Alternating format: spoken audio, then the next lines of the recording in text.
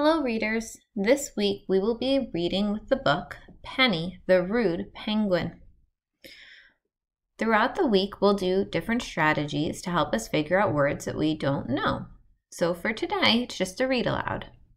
As we read, I want you to think about what does the word rude mean? The book doesn't tell us, so I want you to use your picture clues and the text clues to help you figure it out. Okay? Here we go. Penny the penguin thought watching others fall was funny. Penny passed her friend Peter and whacked him with her wing. Smack! Peter spun around and fell on the ice. Penny thought he looked so funny. Oops, said Penny. I'm sorry. Penny didn't really mean it, though. Penny passed Peter and his family and bumped them.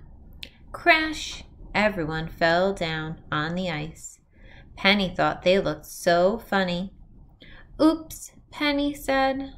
I'm sorry. Penny didn't really mean it, though.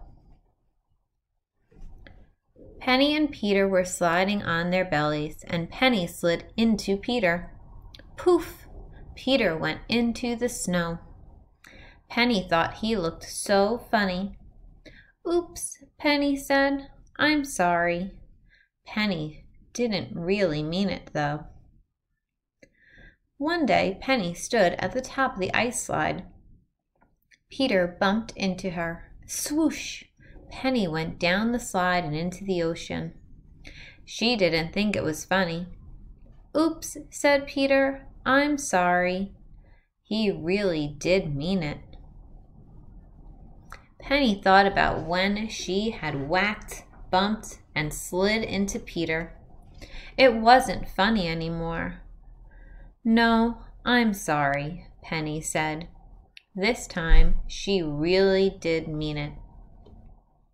Well, readers, I hope you enjoyed this read aloud, Penny the Rude Penguin. And I hope after hearing the story you have some thoughts about what the word rude might mean. Okay, off you go.